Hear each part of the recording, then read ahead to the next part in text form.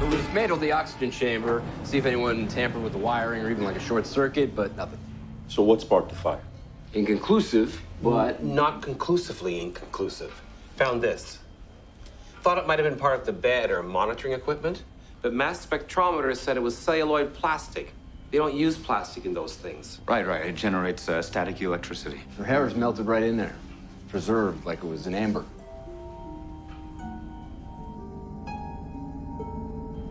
Could it have been a plastic comb?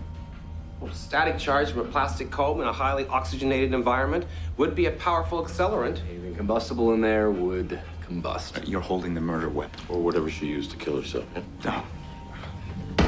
Well, oh, oh, oh, Whoever killed Sutcliffe wanted to kill him how Georgia Madchen killed her victim, but but not exactly how, correct? Georgia Madchen carved up her victim's face.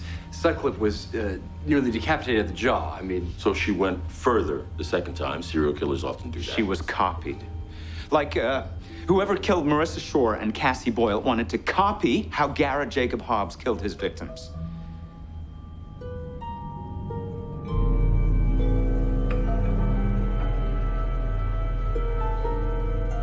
But not exactly how.